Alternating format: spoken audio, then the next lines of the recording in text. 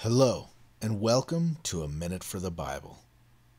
In Colossians 3, verses 12 through 14, Paul writes So as those who have been chosen of God, holy and beloved, put on a heart of compassion, kindness, humility, gentleness, and patience, bearing with one another and forgiving each other, whoever has a complaint against anyone.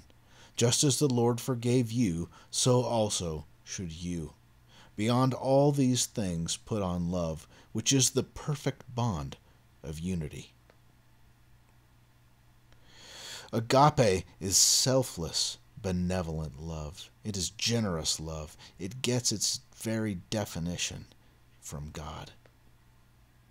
If we can conceive of any sort of loophole from the other fruits of the Spirit in 12 through 13, 14 expects of us that love covers any remaining gaps.